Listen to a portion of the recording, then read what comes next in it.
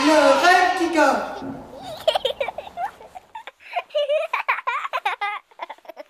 Du 19 juin au 31 juillet, Le Rêve d'Igor. Un grand spectacle familial sous les chapiteaux du cirque moderne, au château de la Poste près de Namur. Le Rêve d'Igor vous transportera dans un monde extraordinaire à la croisée du théâtre, de la musique et du cirque. Offrez à vos enfants et petits-enfants un spectacle féerique. Réservation, le cirquemoderne.com.